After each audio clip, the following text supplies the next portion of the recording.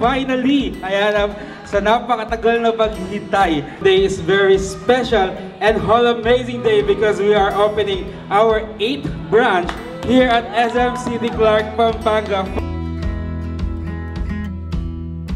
Salamat po sa lahat ng dumating, especially sa aming mga guests at sa aming mga partners. We are uh, happy because this is the 8th na Hola store that we had. We just started March.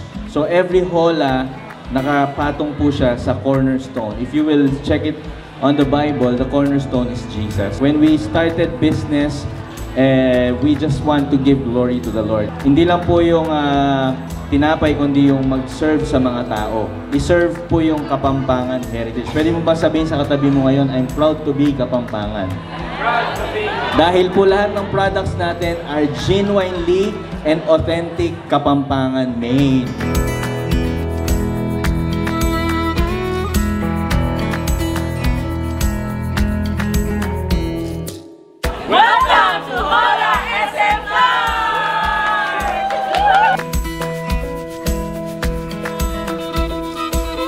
When they taste Hola, they will taste the goodness of God.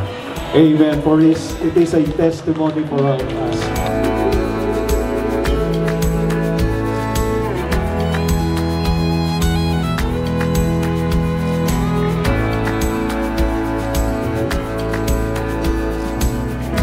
You may now pack the ribbon.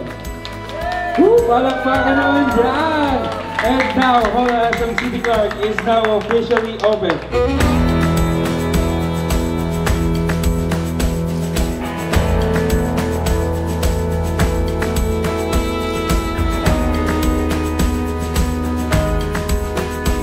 Hello Kahola Nation! We're now open at SM City Clark. Now, nandito na po number one trending and Kapampangan Authentic Made and Saimates. Matitikman mo na rin ang ibang products ng Hola like cheese bread, Spanish bread, cheese rolls, and many more. Ayan, I know madaming nag-aabang dito and now uh, Hola is located here at SM Clark in between of Jollibee and Body Shop. and we're open at mall hour 9 to 10 p.m. Monday to Sunday. Uh, see you here. Basta Hola, manyaman!